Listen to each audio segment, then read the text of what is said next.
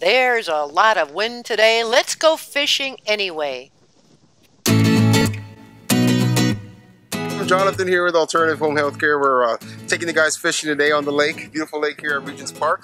Hopefully we'll catch a largemouth bass. Jonathan does the casting, then hands off the pole to residents. And then it's up to them. That can mean a lot of waiting. And waiting and patience just to see what might happen next. Because something always does.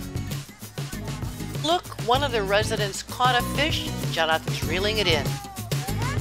He hands it off to the man who got lucky. It's a largemouth bass. Ooh, what a beauty.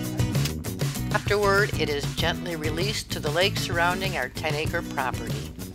And then the day continues. It was a lovely day and a lot of fun.